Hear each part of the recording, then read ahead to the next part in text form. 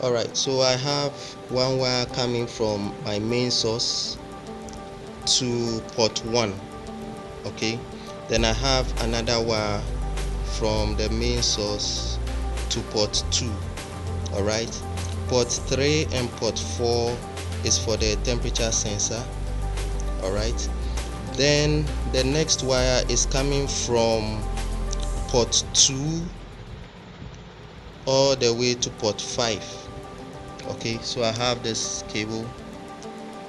coming from number 2 to number 5 alright then I have this coming from number 6 number 6 all the way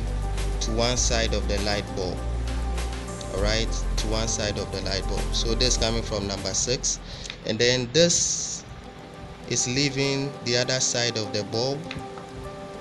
all the way to number one port number one. All right so let's get this again.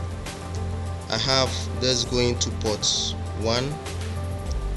going to port 2 and then I have